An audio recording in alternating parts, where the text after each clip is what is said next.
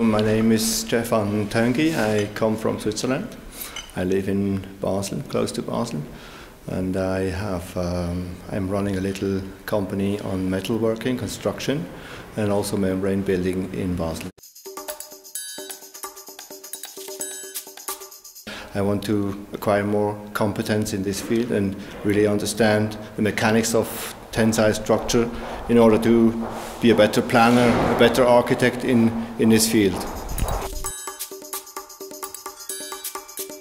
Everybody is so different. We have uh, engineers and architects and stuff like that. I, I, I see some similarities to my, to my approach uh, in the conversations to everybody, but still I don't I don't know very well everybody yet.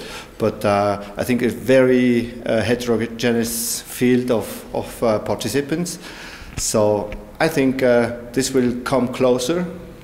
And uh, some of the com comments are really interesting to see the different approaches of, of each member. Maybe I would uh, point out uh, Jürgen Hennicke, he, who is really a very interesting person. His uh, approach is very puristic and he ha has all the historic background and the way he's.